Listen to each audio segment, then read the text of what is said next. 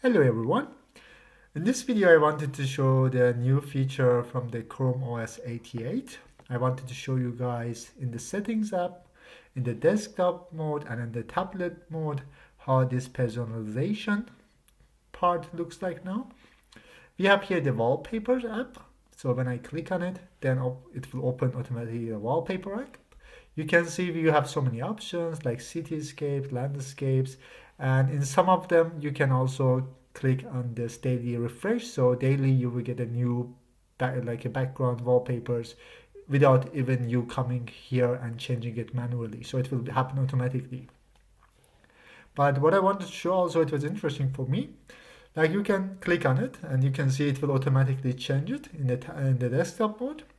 But when I go to the tablet mode I will do it now. So now I went to the tablet mode, I take out the keyboard uh, and you can see that again to the full screen here.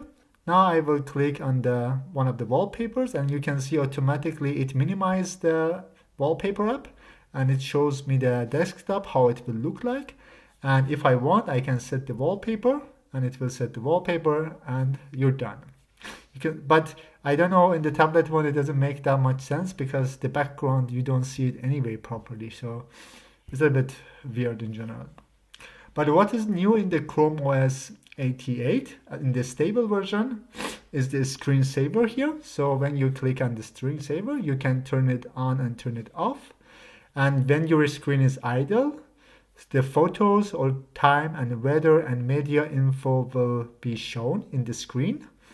So you can choose from the Google Photos a picture if you want as a in the background as a screensaver.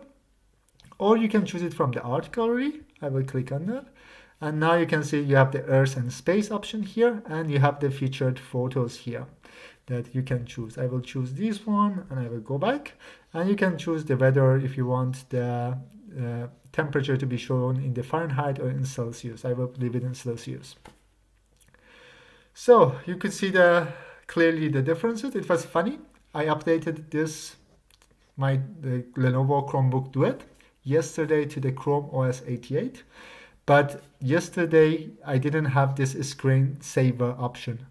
I don't know how happened. I think Chrome OS and this uh, Google Store and uh, the Play Store automatically enable this feature during the night yesterday.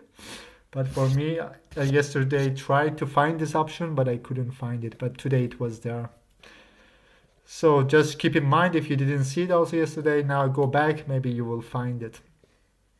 So it was again one small update about the new Chrome OS and what is new here.